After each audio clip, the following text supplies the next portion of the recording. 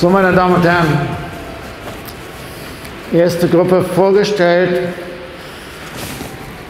Nummer 60 führt das Feld an.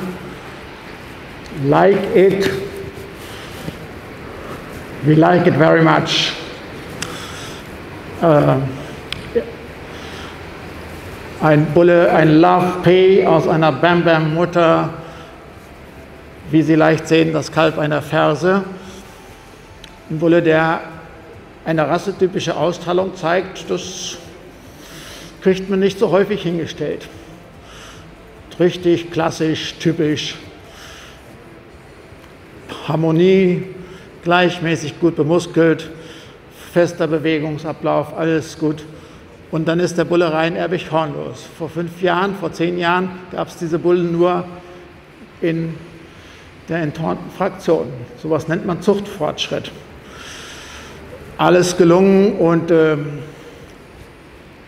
man könnte sagen, Le Toro Magnifique. Sein Stallgefährte 61, Monarch. Aha, das haben die sich dann schon überlegt, als das getauft wurde. Ne?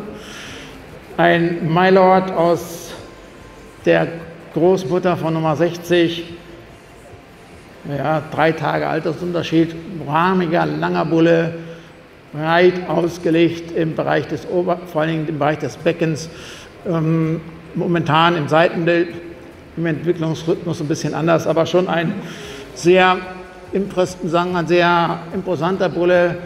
Ja, der Bulle ist jetzt 13 Monate alt, äh, Wuchskörper, also da wissen die Experten, wo der hingeht, wenn der vier Jahre alt ist, was man da sieht. Aber wunderbarer Bulle, beide aus dem Betrieb von der Familie Damm.